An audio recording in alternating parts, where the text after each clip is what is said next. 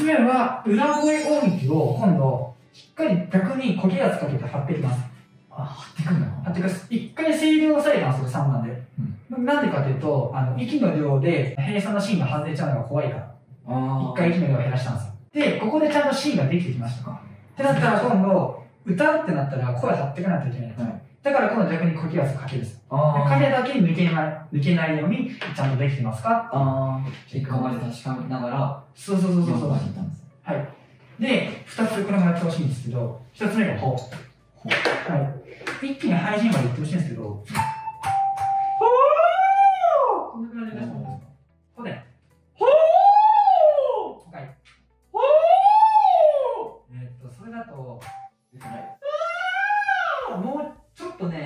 ちにかかりすぎてる。あ気がするあちょっと細いんですよ。この後半のウィンに近いかもしれないかな。あ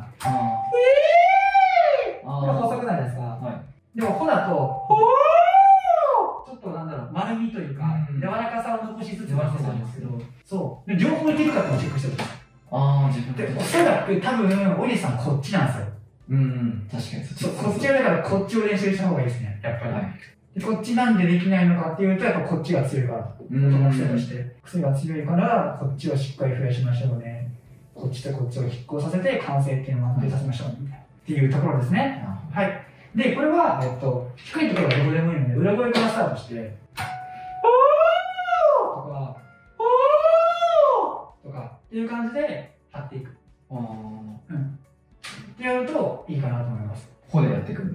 フォでやっていきます。で、両方できてほしい。まずフォでやって、あバランス崩れないなってなったらいいです。はい。多分、フォで細くなる人は、ミーやってめっちゃ細くなる。あうん。ー、そういう発音するのね。そうですね。はい。じゃあラスト5番ですね。えっ、と、んからがで中間バランスをしてるっていう練習です。これが、えっと、この動画のメインの内容になります。で、えっと、これである程度なんか自分にも裏声にもなる、なんかちょうどいいバランスを見つけてほしいんですけど、えっと、この練習をするときに、汚く震えても最初 OK なので、自分でも裏声でもない、折れ切ってないバランスを掴む、それを繰り返していってください。さっき研究したんですよね。研究したんですけど、ね。えっと、めっちゃ難しいんですよね。自分で作ってて。クソいいですよ。で、最初の、んは裏声なんですよね。ヘッドボイス。はい。なんだけど、ガって変えた瞬間に、なんかヘッドにプラスなんか厚みがちょっと入るみたいな。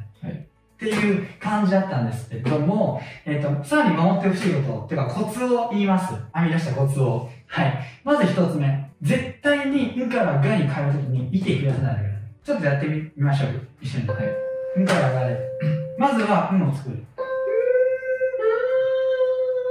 で、ここから、がに変えるときに、息増やすと、んがーってこう、喉で飛び出しちゃう。はい。から、揺れてもいいので、揺れて全然いいので、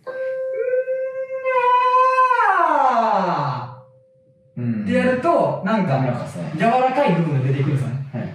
なんか、なんだろう、なんだここはみたいな。っていうところが出てくる。どんな声みたいな。そうそうそう。この時点でまだ綺麗ななんかミックスみたいな響きにならなくていいので、ってやると安定してくる。これはまず一つ目の方法。はいちょっとやってみましょう。はい。はい。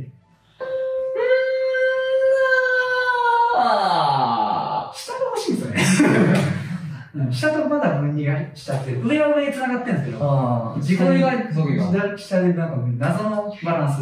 あ 謎のバランス。はい。はい、これが一つ目ですね。はい。で、次、2番。N をしっかりヘッドにする。口を閉じて、ハミングで出していくんですけども、えーと、この、ヘッドが薄いと、要は、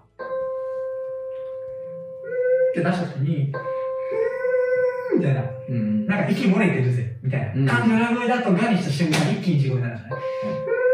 いやー、あれみたいな感じすげえ落差が出てきた。そうそうそうそうそう。だから N でしっかりヘッドにまず作ってください。はいで、これが無理だったら全然こっちに戻っていいので。ちゃんと、なんかこう、息漏れ感のない裏声にできてるかどうかっていうのをチェックしてから、もう一回こっちやるといいかなと思います。はい。で、次に三つ目のコツは、G の瞬間に一気に胸を落とす。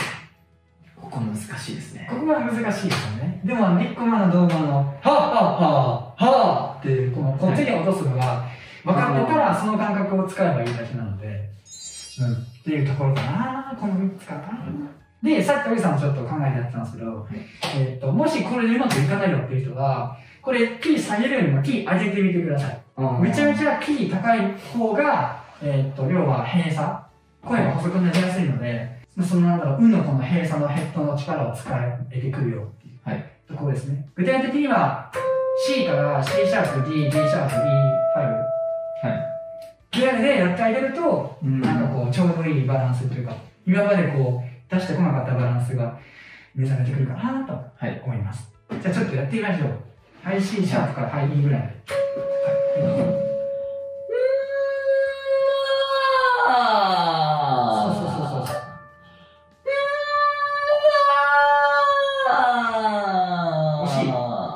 下で段差できてたじゃないですか。それが D の音でちょっと消えかけたじゃないですか。うん。もう一回行きましょう。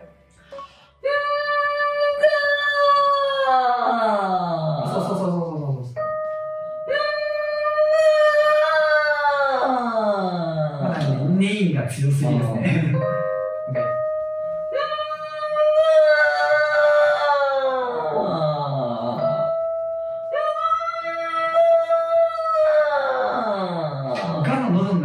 すぎる気がする。って言ったらいいんだけど、ああ、高いのか。結構高い気がするかな。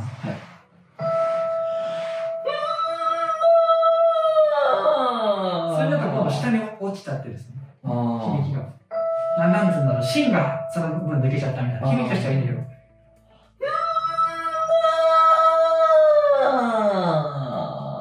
あ。何を練習すな、これは？めっちゃ難しい。普通の練習より難しいかもしれない。難しい。練習してるのが簡単だよっていう。はい。まあっていう感じなんですけど。あとは、えっと、これ声を、うんからがに感じるように、声を前に持っていかなくていいので、ちょっと後ろを使うようなイメージ。はい。でやると、案外安定するかも。あうん。要は、あーってやった方が、自分にちゃんと返ってこれる。あ。うん。うん。っていうところから。これ前にやっちゃうと、ガーってこう、全然違いますね。ね、もうなんか。なんかすげえクソガキのなんか酒みたいな。から。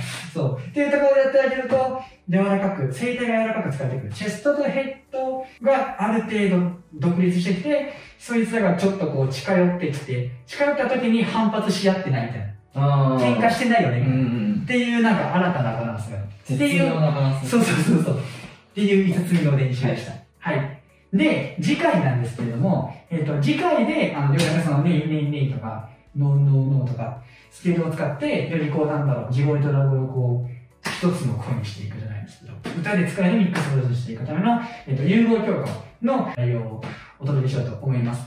でですね、えっと、僕たち動画10本までは構成考えて撮ってはいるんですけども、11本目からですね、11個目の動画からは、えっと、皆さんの悩みとか、なんかこう、疑問とか、っていうのを参考に動画を作ってお届けしていこうというふうに思いますので、なんかこの内容でわかんないところとか、なんか前回の動画のやつでもいいし、なんかボイトレに関するなんか相談とかだったらぜひコメントをしてください。そのコメントの中から、えっ、と、これいいなと思ったものを、えー動画にしていこうというふうに思います。はい。ぜひ、えーとチャンネル登録、グッドボタンよろしくお願いします。お願いします。じゃあ今日は以上になります。ありがとうございました。ありがとうございました。